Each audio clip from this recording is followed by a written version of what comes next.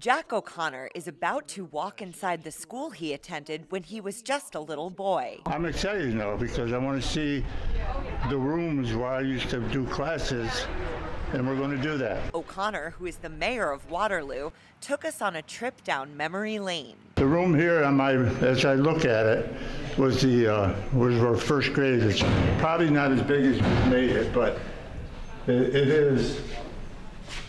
That's where I went to first grade.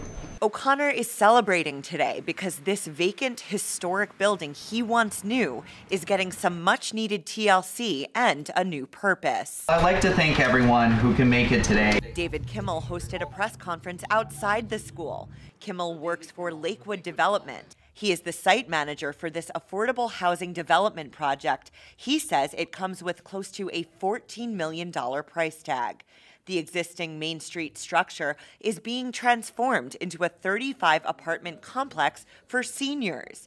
Kimmel says he helped select the location and put together the financing. It's utilizing funds from New York State Homes and Community Renewal, but also utilizing historic tax credits. So, as part of this project, the school has actually been listed as a historic landmark with the National Register, which allows us to access the historic tax credits in return for keeping some historic features present. New York State Senator Pam Helming was also there. Helming says she worked with the Office of Housing and Community Development to help make this happen. It provides critically needed housing, safe, secure, clean, reliable housing for our seniors.